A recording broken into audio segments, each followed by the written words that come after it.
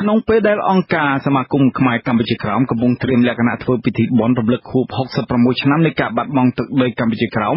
នៅថ្ងៃទី4ខែមិថុនាពលរដ្ឋខ្មែរក្រោមនិងតំណាងរាជគណៈបក្សសង្គ្រោះជាតិអំពាវនាវឲ្យរដ្ឋាភិបាលកម្ពុជាយកថ្ងៃទី4ខែមិថុនា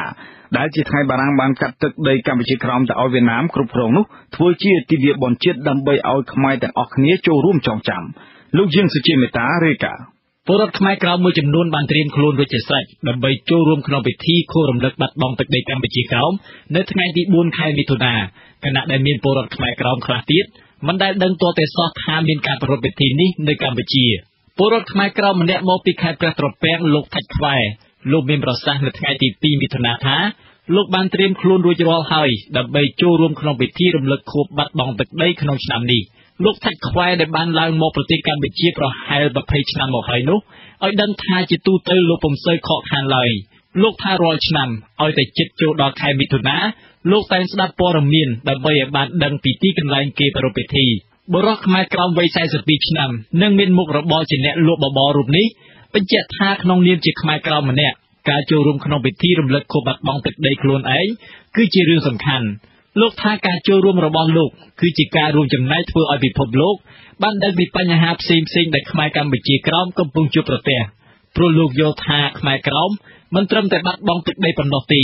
ប៉ុន្តែវាជាការបាត់បង់នូវសិទ្ធិសេរីភាពនិងការប្រឈមមុខទៅនឹងទុក្ខសោកនានា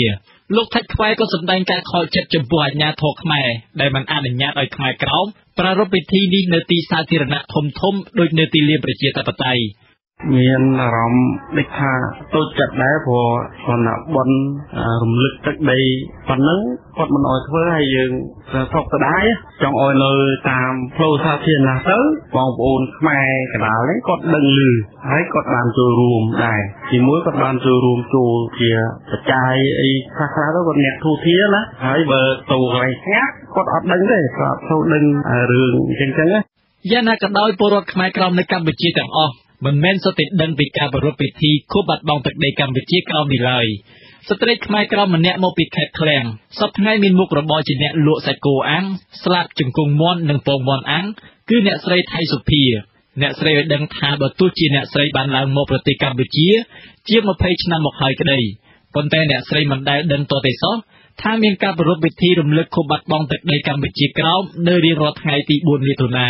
ស្ត្រីមានវ័យ52ឆ្នាំរូបនេះ មានប្រសាសន៍ថាក្រៅពីប្រកបរបរលក់ដូរប្រចាំថ្ងៃអ្នកស្រីពុំសូវបានទៅទីណានោះទេ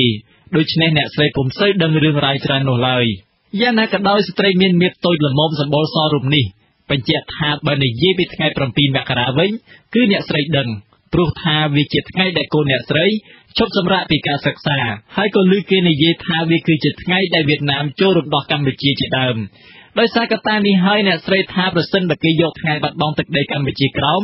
ដែលអ្នកស្រីមិនធ្លាប់ដឹងពីមុនមកនោះធ្វើជាថ្ងៃចងចាំសម្រាប់ប្រទេសទាំងមូលនោះប្រហែលអាចធ្វើឲ្យអ្នកមិនធ្លាប់ដឹងពីមុនមកដោយអ្នកស្រីបានដឹងអំពីថ្ងៃ4មិថុនា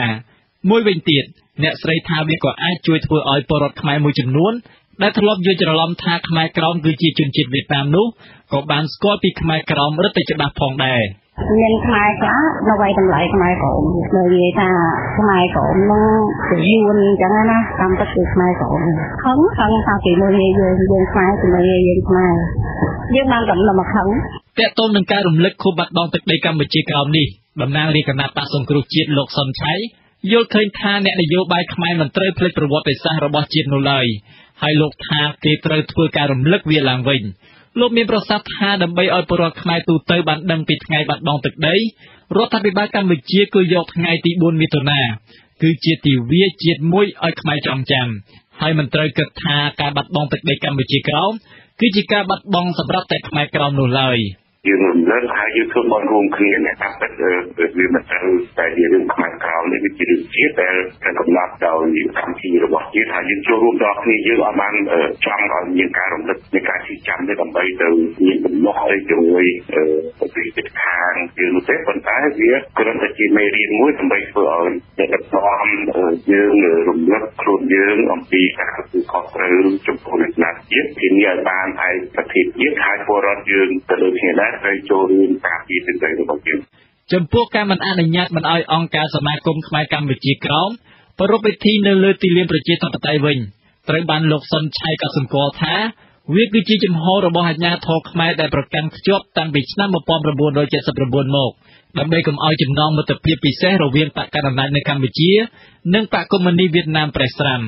ប្រធានសហគមន៍ខ្មែរកម្ពុជាក្រោមលោកថៃសិដ្ឋាកាលពីពេលថ្មីៗនេះក៏បានលើកឡើងថាអាជ្ញាធរខ្មែរ ហាក់បង្ហាញថាខ្លួនឯងនៅទទួលរងសម្ពាធពីរដ្ឋាភិបាលវៀតណាមនៅឡើយជុំវិញរឿងរ៉ាវបាត់បង់ទឹកដីកម្ពុជាក្រោមនេះកន្លងមកគេសង្កេតឃើញថាក្រៅពីអង្គការសមាគមខ្មែរកម្ពុជាក្រោមតំណាងរាជបកប្រឆាំងពលរដ្ឋនិងយុវជនខ្មែរមួយចំនួនដែលចាប់អារម្មណ៍ពីរឿងខ្មែរក្រោម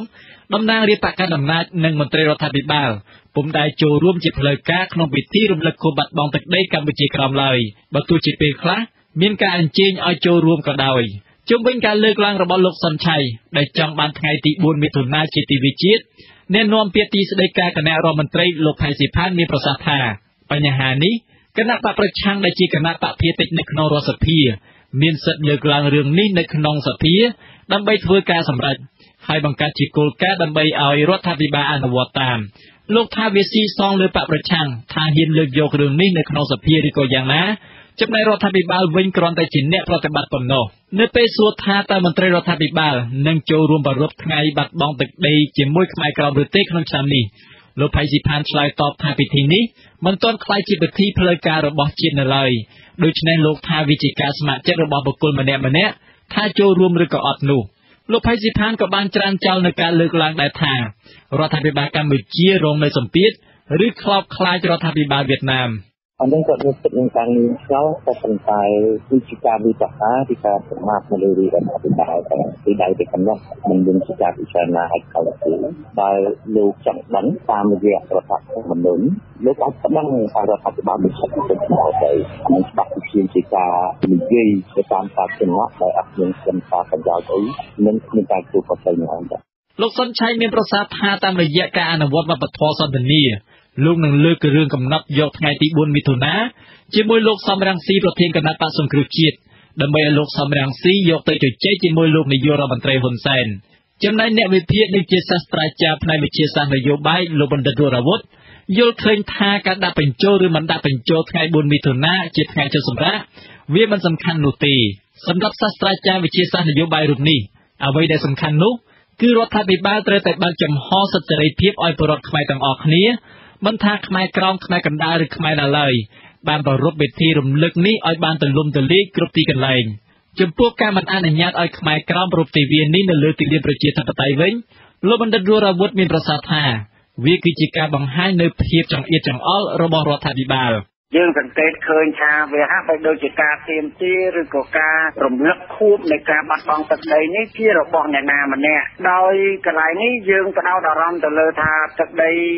ទាំងឡាយគឺជារបស់ប្រជាពលរដ្ឋទាំងអស់គ្នាមិនមែនជារបស់អ្នកណាម្នាក់ទេកាលណាយើងបិទតាំងរឿងបញ្ហាទឹកដីគឺអនាគតបញ្ហាព្រំដែនបញ្ហាទឹកដីវានៅតែជាបញ្ហាប្រឈម នៅឆ្នាំនេះពិធីរំលឹកខួបបាត់បង់ទឹកដីកម្ពុជាក្រោមនឹងធ្វើឡើងនៅវត្តពោធិយារាមហៅវត្តចាស់ដែលស្ថិតនៅក្នុងសង្កាត់ជ្រោយចង្វាខណ្ឌជ្រោយចង្វារាជធានីភ្នំពេញ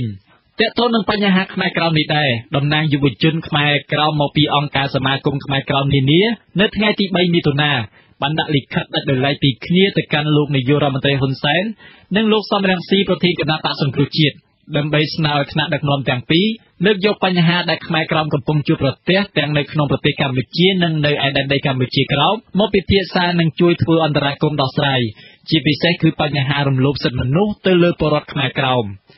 ខ្ញុំយេសុជីមេតាវັດជូអាស៊ីសេរីភ្នំពេញ